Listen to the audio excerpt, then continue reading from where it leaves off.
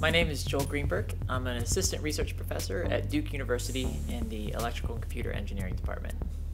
My general area of research is in computational sensing. So the idea behind that is you want to make measurements. Measurements tell you about the world around you. And if you're going to do that, you need to be able to take data turn it into information. In the age of computers, now we can feed everything through a computer. We still have to do the interpretation at the end, but, but the computers play a much more essential role. What I do is try to look at the whole thing. Within Alert, what that comes to is I'm very focused on the problem of aviation security, and in particular finding threats or explosive materials or contraband in luggage. That problem is, is squarely in this computational sensing space because we need to be able to make measurements and in the end make a determination whether there is a threat or is not a threat in that bag. So we need to make a decision and it's something that happens quickly.